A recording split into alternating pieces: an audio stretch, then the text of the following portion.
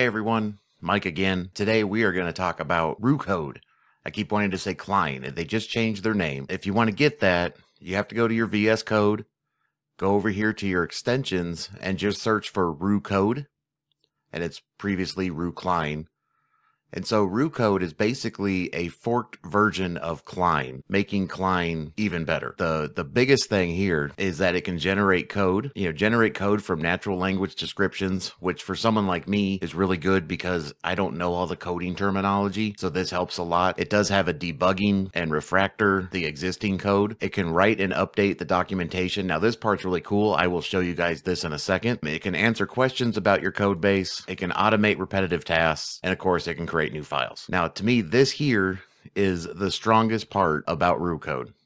These right here. They have the code mode, which is for coding, the architect mode, which is absolutely insane. I mean, if you just use this for the architect mode, it'll probably help you with your other programs you're working on just by using this. The ask mode, which is obviously for answering questions.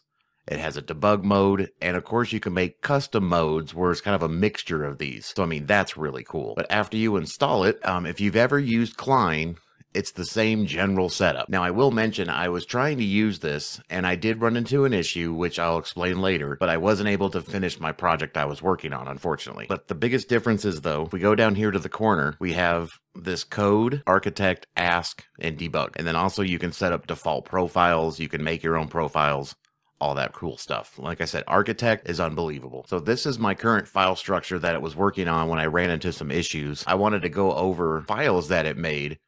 So, you know, it made a content strategy for this website, you know, which this is something I could give to the customer too.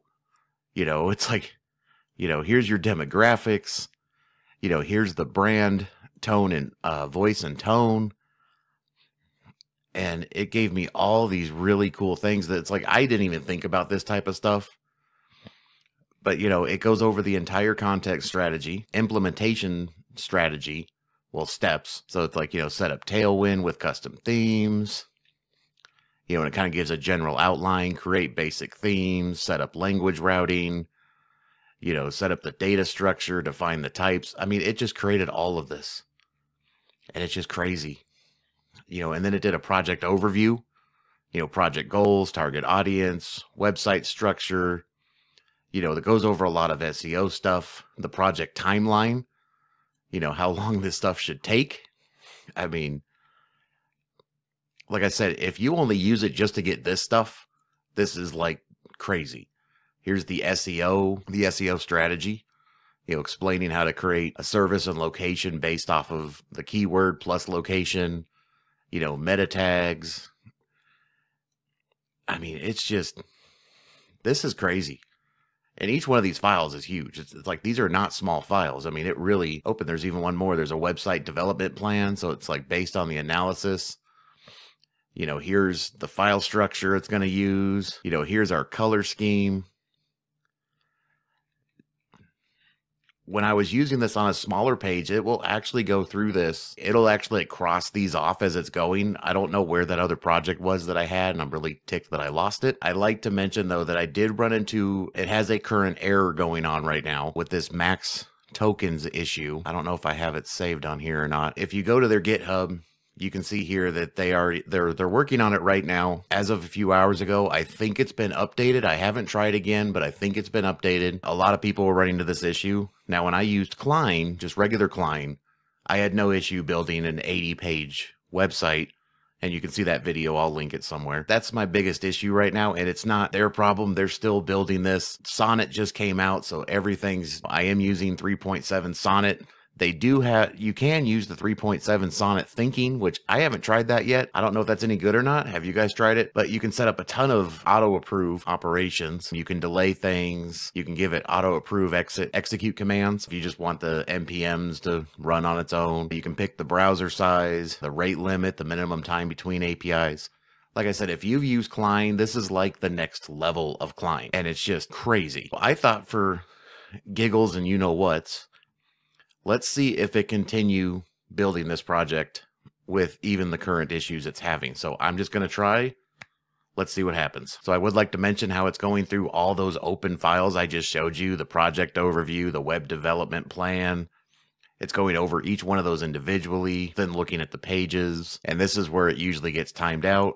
So we'll see if I get that error again. They still have the rate limit image and the rate limit error, unfortunately. It does try to say that it's like on my side. You go to the GitHub, they're working on it right now. This was posted yesterday, and as of even today, I mean, I did see some new stuff, you know, 11 hours ago. They're working on it. I'm hoping it gets done soon so I can finish this site because I think this would be really cool to compare from Cline, row Rocline, Roo Code to see what the differences are. So unfortunately, it looks like, oh, it's starting to do something else. So I would like to mention that I did not mention a blog and it's actually saying there should be a blog in here for SEO strategy. So that would be a good thing to like when you're working with the customer, you can show them this stuff. It just wants to run it now. Okay. Let's see what let's see what it does. I don't think there's an actual site, but I'll click on it. Okay, so I have a very broken website right now.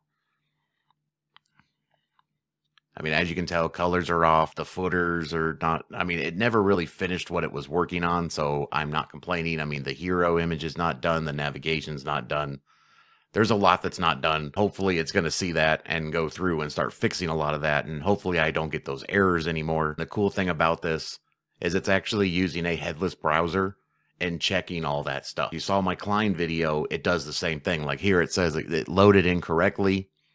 You know, the homepage of the website is loading in. It goes through these pretty fast. And then I just hit my rate limit again. So I have a feeling this video is going to be incomplete for now. So it looks like now I'm stuck in the rate limit again, unfortunately.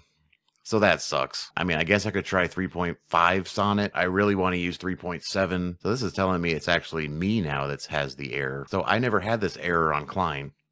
So let me check something. This is probably completely off topic from this video, but if you're using Anthropic, there is requirements for tiers. A free tier is basically you've spent $5. There's tier two, tier three, tier four, and anything above tier four, you contact them to get more. The main difference though is how much more you can use it. So like 3.7 Sonnet, you can only have 50 requests per minute and 20,000 tokens. Tier two is 100,000, 40,000, then 2,000, 80,000, and then 200,000 inputs per minute tokens. If you wanted to just get right to the the tier 4, now I know this is probably out of a lot of people's mindset. If you just go ahead and put $400 in your account, after 7 days you will become a tier 3, and then after 14 days of that payment, you will become a tier 4.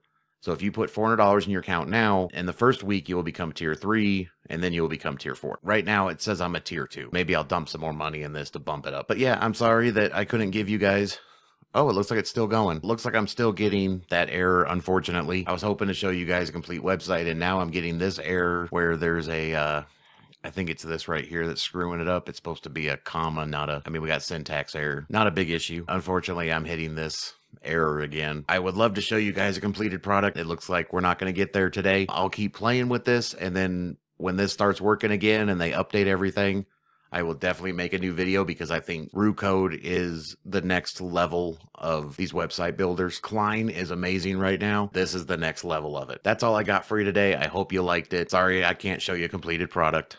I feel like I failed. Have a good one. See you again.